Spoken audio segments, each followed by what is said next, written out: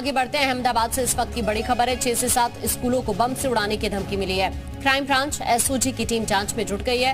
बम निरोधक दस्ते ने स्कूलों की जाँच की है। रूसी सर्वर से ये धमकी भरा ईमेल भेजा गया था।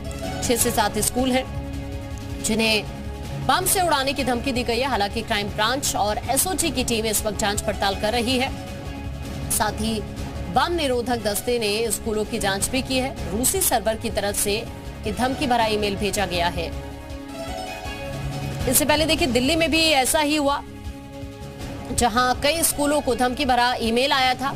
और अब इसके बाद अहमदाबाद से खबर आ रही है, जहाँ पर छह से सात स्कूलों को बम से उड़ाने की धमकी दी गई है ईमेल के ज़रिए।